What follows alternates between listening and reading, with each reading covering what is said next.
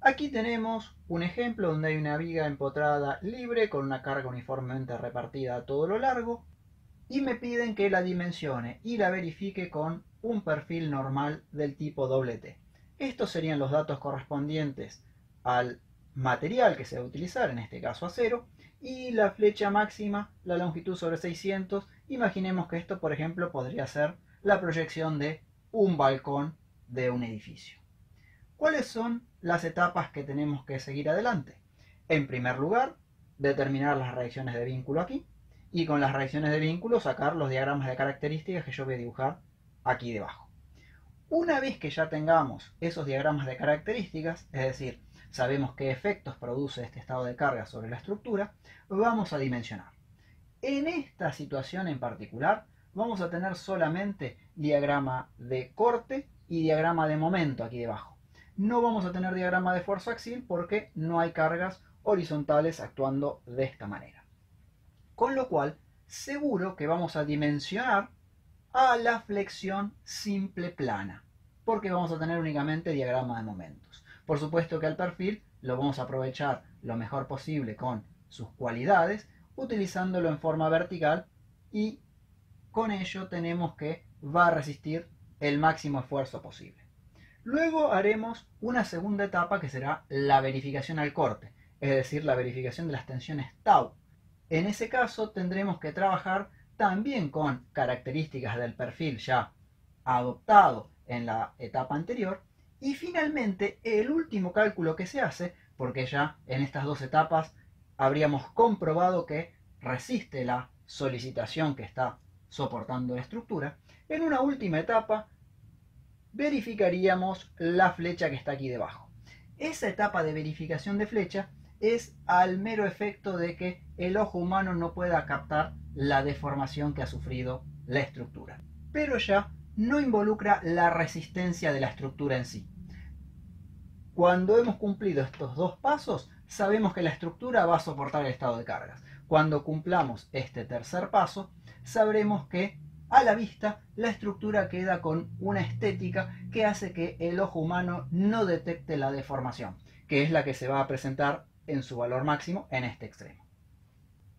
Aquí a la derecha podemos ver el planteo de las tres ecuaciones fundamentales de la estática para un sistema plano, sumatoria de fuerzas en X horizontales, sumatoria de fuerzas en Y verticales y sumatoria de momentos respecto a un punto A. En nuestro caso, ese momento podríamos tomarlo respecto al empotramiento como lo hice yo. Observemos aquí. De la ecuación número 1 no hice ninguna cuenta porque no hay esfuerzos horizontales y no tenía espacio para mostrarlo en la pizarra.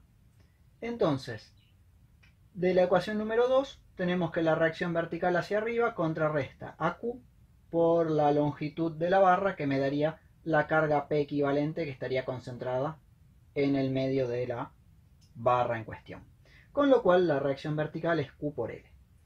Y después tenemos la ecuación 3 aquí debajo, que este momento antihorario es compensatorio del momento que generaría la carga concentrada que vimos en el punto anterior multiplicado por el brazo de palanca que no es ni más ni menos que la mitad de la longitud que se ve aquí. Con lo cual, la reacción de momento es Q por L al cuadrado sobre 2. Aquí tenemos los tres diagramas de características típicos que corresponden a una situación en el plano. Como podemos ver, el momento máximo se da en el empotramiento y el corte máximo también se da en el empotramiento. Con lo cual, dimensionaremos aquí y también verificaremos en la misma sección solo que en diferentes fibras. Para el dimensionamiento, como solo tenemos diagrama de momento, lo haremos a la flexión simple plana y luego verificaremos el corte en esta sección. Aquí podemos ver la instancia del dimensionamiento, la tensión tiene que ser el cociente entre el momento flector respecto al eje X y el módulo resistente respecto al mismo eje, que obviamente para el perfil T es el mayor y por eso se utiliza este tipo de perfiles porque las características lo hacen adecuado a la solicitación en cuestión. Despejando, tenemos que Wx sería el valor del momento, aquí hay que uniformar todas las unidades con respecto a las que teníamos en la tensión admisible, y el valor obtenido de cálculo me sirve de referencia para ir a la tabla de perfiles normales T y seleccionar un perfil que tenga un módulo resistente WX mayor o igual que el calculado. Una vez que yo ya tengo ese valor comercial, lo único que tengo que hacer es verificar que la tensión de trabajo sea inferior a la tensión admisible y pasar luego a la etapa de la verificación al corte. Teniendo ya el perfil, hago la comprobación de que la tensión de trabajo es menor a la tensión admisible. Coloco aquí el valor del momento máximo, lo divido por el módulo resistente comercial y compruebo esta tensión. Una vez que tengo determinado el perfil, puedo leer en el mismo renglón de la tabla los valores que le corresponden al momento de inercia respecto al eje X, el momento estático de primer orden de la media sección y el espesor del alma del perfil.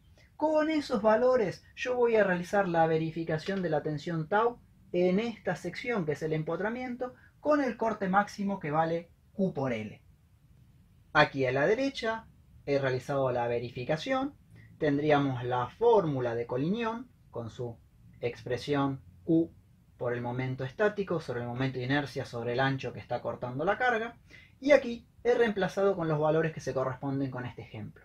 Q por L, que sería el valor del corte máximo, este valor salía de la tabla, este valor salía de la tabla, y ese es el espesor del alma, porque si ustedes se fijan, una carga que venga descendiendo de esta manera, en un principio corta este ancho, pero luego corta este que es mucho más angosto. Y al momento en que he acumulado la media sección y maximicé el momento estático de primer orden, estoy cortando justamente ese ancho que es muy pequeño. Con lo cual, en los perfiles laminados, tenemos que tener en cuenta que esta combinación sea la peor posible. El más grande que se puede obtener aquí con el más chico que se puede obtener aquí. Y justo en esta sección coinciden a la altura del eje baricéntrico. Es muy normal que esta tensión tau dé muy inferior al valor de la tensión admisible, que era un dato propio del problema. Pero eso no nos debe preocupar porque ya hemos dimensionado a la flexión es el mínimo perfil que puede resistir este estado de cargas. Una vez que hemos llegado hasta esta etapa, sabemos que la pieza no solamente la hemos dimensionado, sino que la hemos verificado al corte. Y habiendo verificado al corte, sabemos que desde el punto de vista de la resistencia, el material va a poder soportar a este estado de cargas sin tener ningún tipo de inconveniente.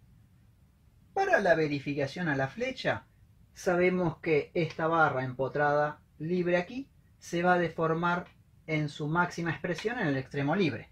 Y esa será la magnitud que calculemos nosotros con esta fórmula que está aquí. Las variables que aparecen en la fórmula las tenemos todas. Q pertenece al estado de cargas, L a la longitud de la barra. JX ya lo hemos obtenido una vez que seleccionamos el perfil en la primera de las etapas, que era el dimensionamiento a la flexión. Y E, que es el módulo de elasticidad longitudinal del material, yo no lo había planteado, pero también es un valor conocido porque si utilizamos un determinado material como el acero, E valdría 2.100.000 kilogramos sobre centímetro cuadrado, con lo cual también constituye un dato del problema porque es una constante que se debe al material con el que estará construida nuestra estructura, en este caso un perfil laminado. Lo único que tenemos que hacer es volcar los valores numéricos en esta fórmula y comprobar que esa I me dé inferior a la longitud L, medida en centímetros, sobre 600. Por supuesto que acá debemos uniformar todo el sistema de unidades. Es posible que esta verificación funcione perfectamente, es decir, la flecha que nosotros calculamos esté por debajo del valor admitido. Pero podría suceder también que esta flecha no verifique. Con lo cual, nuestro problema ahora es otro. Ya no es un problema de resistencia, porque ya sabemos que con las dimensiones que le hemos dado al perfil y que acá están expresadas en el momento de inercia, la estructura resiste este estado de cargas. El problema ahora es que estéticamente aquí se deforma más de lo que a nosotros nos permiten que se deforme.